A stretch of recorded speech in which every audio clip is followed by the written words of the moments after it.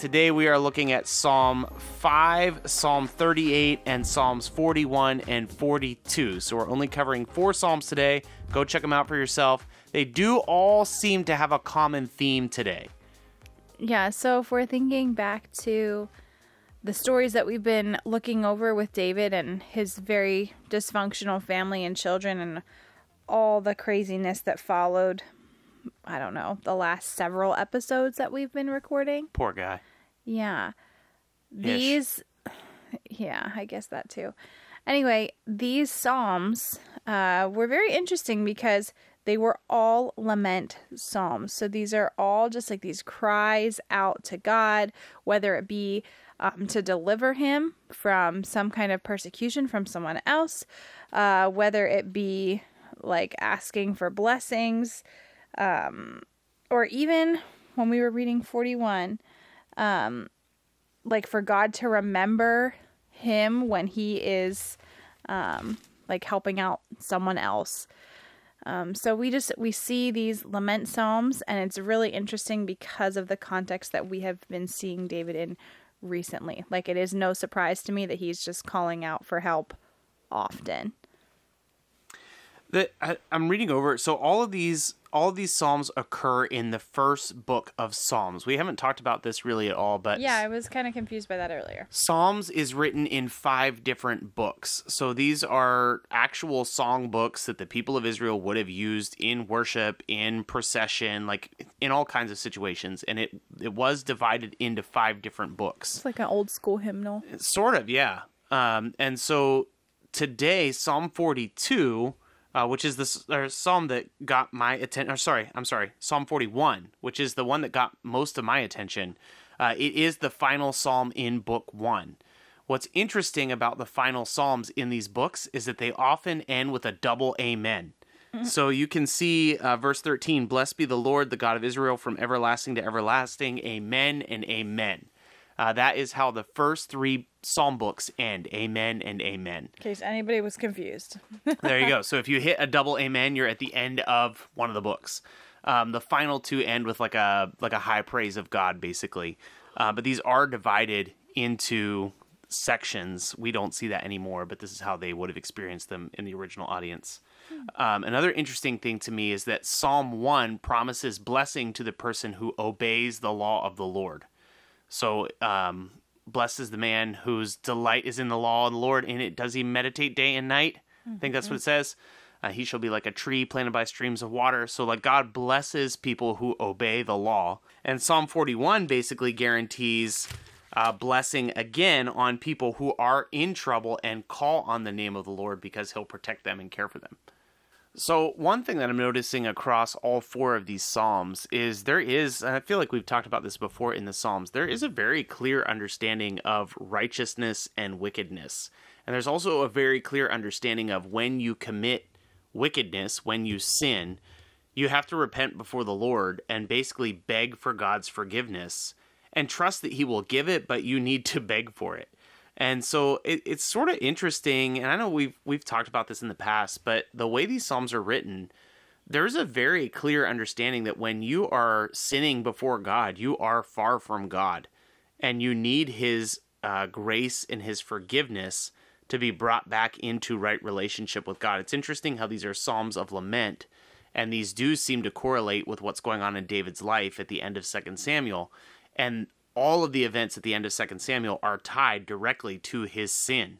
And so it's it's not odd that these laments are coming out of uh, sinful decisions in David's life, and so these these songs that have been written reflect um, kind of the the consequences of sin and the need for forgiveness and righteousness before God. Mm-hmm.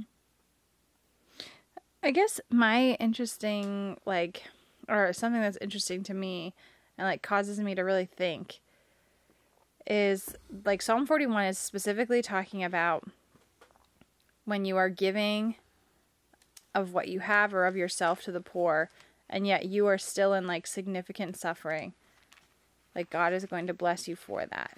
Yeah. Right? Like on your sick bed is is what it says. Right. What's interesting to me is like that seems very works based. And to me, I feel like it is a really hard, like, pendulum kind of feeling that I get where it's like, well, works are really good. But then it's like, well, wait, no, like, the only thing that actually matters is just faith. So I go back and forth, and it's probably like a both thing. But for me, it is like, it's hard to separate, like, well, this is saying that God's going to bless you if you help the poor. But then we, like, I remember in college, we had this, like, assignment where it was like very much works over, um, works over faith or faith over works. Like, what's more important?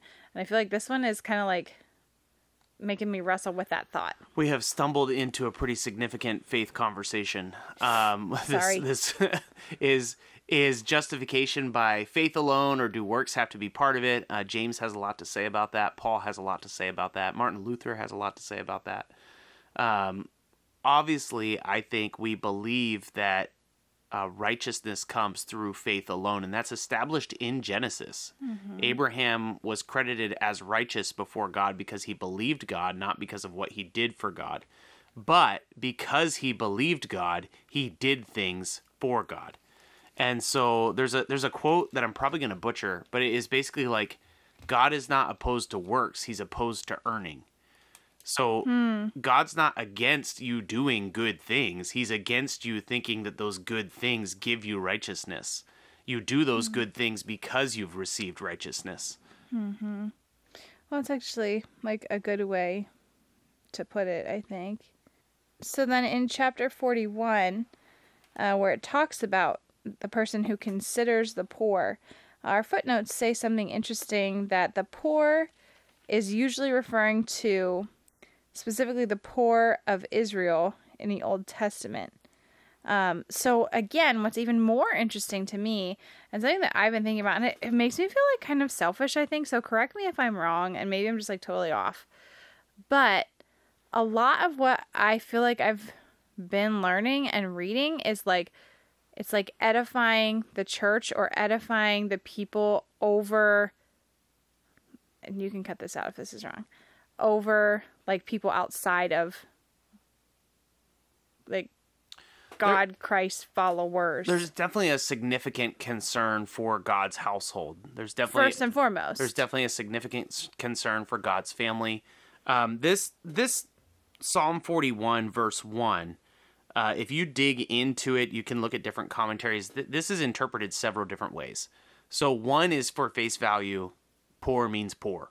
So like blessed is the one who takes care of the poor. Does that mean within Israel? Most likely, because this is a royal psalm for Israelites that were very isolated as a community. They were sojourners and they were commanded to be gracious to sojourners.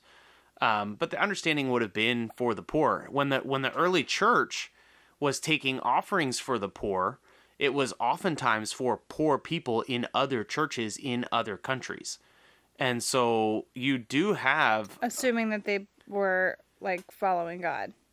Yeah, correct. So like when when Ananias and Sapphira, they're in Acts, they sell a field and they lie about the proceeds of that field to the apostles mm-hmm. and God, you know, judges them on the spot. It's a case for judgment outside of the Old Testament. Um, they were giving that money to the church to be used to benefit the poor people of the church.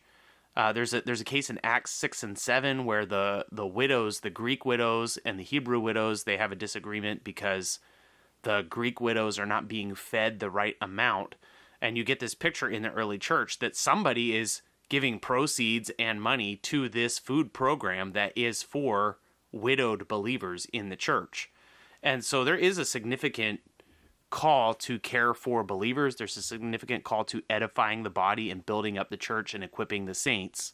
Uh, that doesn't mean we don't help other people, though. Right, and that's. But I, it's interesting to me that that has been something that I feel like I've been hearing a lot, but then also it it like straight up says it in this. Mm-hmm in the footnotes here. That is that's one interpretation, but it is an interpretation that makes a lot of sense. Mm-hmm. Um, another interpretation is actually when it says poor, it actually means like people who are struggling in their faith or are far from God. Hmm. So there there's multiple directions you can take this. It's all rooted in the original languages and stuff. Uh, but the idea is when you care for people who have a need, I'm taking like a super broad based approach here. When you care for people who have a need, God cares for you when you have a need. So there is another thing in here worth uh, paying attention to a little bit, and it, it's basically in Psalm 41. It talks about when you are caring for people who are, are poor, and we've just talked a little bit about what that means specifically. Um, I think it's worth calling out verse 3 the Lord sustains him on his sick bed. In his illness, you restore him to full health. Um, in the Old Testament, and actually continuing into the New Testament, a lot of people's ideas were that sins led to sickness. And so sometimes you get this idea of God healing sickness, and that means that God does heal sickness, but it also means that God forgives sin to those original audiences. So these two things are tied together, and this is a lament um, that is calling out for help from God, and it's basically saying like God will forgive your sins and He will heal you. You can't ignore the fact that verse three says the Lord sustains him on his sickbed, and in his illness you restore him to full health. So when we deal with being sick, when we deal with needing healing, the Lord does do that when the Lord chooses to do that, and oftentimes it is connected to how you've been living your life before God. I know that I know that God heals all kinds of people. This psalm is talking specifically about healing comes to those who are obedient to the Lord, and that is healing for sin, and it is, I believe, physical healing as well. So that is available to us today. Um, and actually, the, the, the best way to be certain of that possibility is to live a life of righteousness before God. Mm-hmm. So, I guess uh, your part for today, focusing specifically again on chapter 41. Uh, if we look at chapter 41, verse 12, it says, But you have upheld me because of my integrity and set me in your presence forever. Our Bible has a footnote that talks specifically about this that just says, Because of the faith of this person, um, that person can be confident that God will continue to honor his integrity, specifically because of his kindness to the poor. So we were just talking how this, what seems to be um, like works or good works, ultimately has to be intertwined with faith uh, because God will acknowledge your works through faith, um, especially in those times of like hardship. Um, so I, I, would even encourage us all today. Uh, look for those opportunities where you can incorporate good works um, through faith, even when it seems like it's a difficult, challenging, or maybe not the most comfortable or easy situation to do so. Um, people with needs are literally everywhere you look. Um, and a simple like act of of kindness and goodness towards someone else through faith, knowing that that's what the Lord requires of us, um, is definitely a reflection of who He is and what He requires of us. So I would encourage you to look for those opportunities today because they are literally everywhere. So we'll see you back tomorrow when we are back into the story of David. Thanks so much for listening to God's Plan Your Part. If anything stuck out to you, if you have any questions, or if you'd like to receive a Bible, you can email us at godsplanyourpart at gmail.com. Also, if you're enjoying the podcast, please consider supporting us through the link in our description. We love that you're on this journey with us, and we hope you have a great day. See you tomorrow.